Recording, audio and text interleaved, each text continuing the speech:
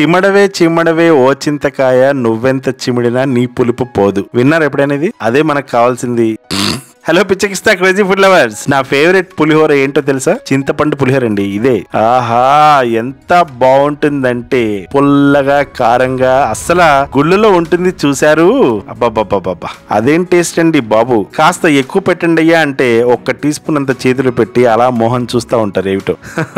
ప్రసాదం అంటే అలాగే పెడతారు మరి. కుంభాలు కుంభాలు తినాలంటే ఏం చేయాలి? మనం ఇంట్లో చేసుకొని తినాలి. ఇది మీరు ఒకేసారి ఒక బిందెడు పులిహోర మిక్స్ని చేసుకొని పెట్టుకోవచ్చు హ్యాపీగా. అప్పుడప్పుడు వేడి వేడి అన్నంలోకి గిల్లి గిల్లి వేసుకుంటూ ఎంజాయ్ చేయొచ్చు. సో కుంభాలు కుంభాలు చేసుకుందాం రండి. ముందుగా మనకు కావాల్సింది చింతపండు ఒక వంద గ్రాములు. కడిగి నానబెట్టేసి జ్యూస్ తీసి స్టవ్ మీద ఒక పది నిమిషాలు మీడియం ఫ్లేమ్లో ఉడికించండి.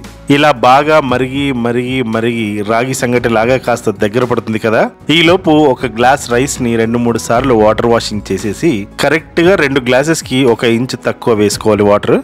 అలాగే ఒక టీ స్పూన్ అంత ఉప్పు ఒక టేబుల్ స్పూన్ అంత ఆయిల్ వేసి ఒక మూడు విజిల్స్ ఇచ్చేయండి.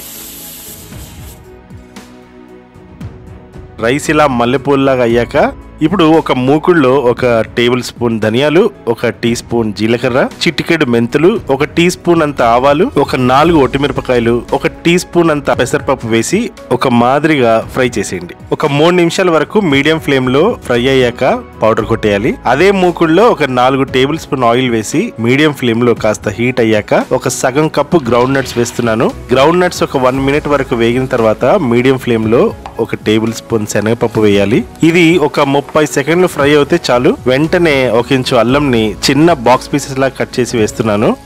ఒక ముప్పై సెకండ్ల వరకు అలా ఫ్రై అయ్యాక పెసరపప్పు ఒక టేబుల్ స్పూన్ అంత వేసేసి ఆవాలు ఒక టీ స్పూన్ అంత వేసుకోవాలి. ఇదంతా ఒక అరవై సెకండ్లు ఫ్రై అయ్యాక ఒక బ్యూటిఫుల్ అరమా వస్తుంది చూడండి. అప్పుడు ఒక పది పచ్చిమిరపకాయలు చీలికలుగా చేసి ఇందులో వేసేయండి. కాస్త ఆయిల్కి దూరంగా ఉండండి. పచ్చిమిరపకాయలు వేగానే అదేదో టచ్ మీ నాట్ అనేలాగా ఎగురుతూ ఉంటాయి. అలా పచ్చిమిరపకాయలు ఎగిరినంత సేపు ఎగిరి చల్లబడ్డాక ఒక ఆరు ఏడు ఒట్టిమిరపకాయలు కూడా వేసేయాలి. యాజ్ ఇట్ ఈస్ హోల్గా తుంచకుండా.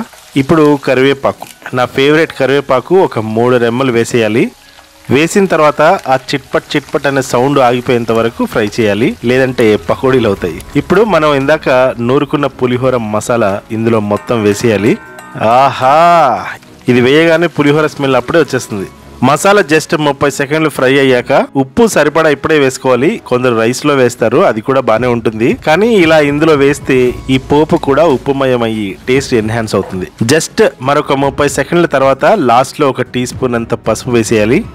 పసుపు వేసిన ఇరవై సెకండ్లకి ఒక టీ స్పూన్ అంత ఇంగువ వేసేయండి. ఇంగువ వేసిన ముప్పై సెకండ్లకు చింతపండు జ్యూస్ని వేసేయాలి ఇందులోనే.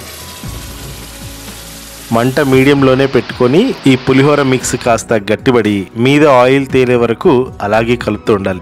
చూసారా ఎలా అయిందో పేస్ట్? ఇది పర్ఫెక్ట్ కన్సిస్టెన్సీ. ఇలా ఆయిల్లో బుడగలు తేలాయంటే పులిహోర మిక్స్ రెడీ అయిందని అర్థం.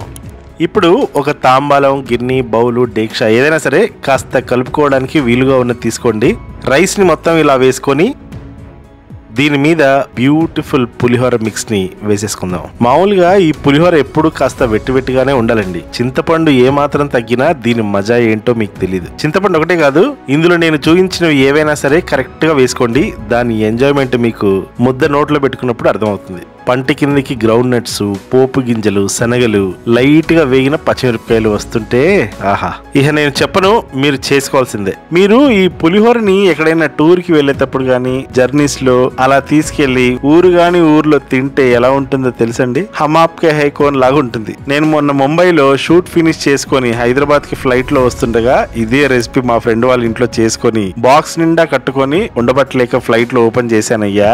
ఫ్లైట్ అంతా ఆహా. అందరూ నా మొహం చూసి చిచ్చి వీడికి కామన్ సెన్స్ లేదనుకున్నారు. అనుకుంటే అనుకున్నారు కానీ ఆకాశ వీధిలో ఈ చింతపండు పులిహోర తింటుంటే ఎలా ఉంటుందో తెలుసా? మీరు కూడా బాక్స్ కట్టుకొని ఫ్లైట్లో మూత ఓపెన్ చేయండి. హే తర్వాత సంగ తర్వాత.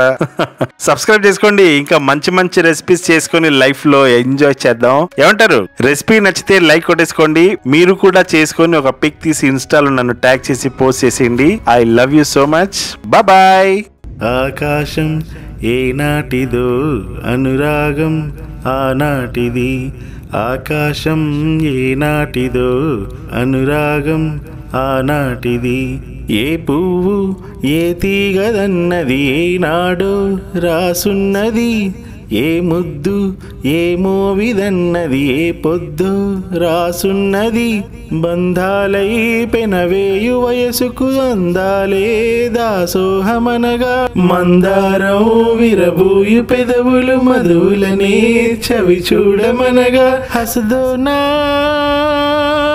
హసదోనా ఎన్నెన్నో శృంగార లీలలు కన్నుల్లో రంగేలి అలెదను.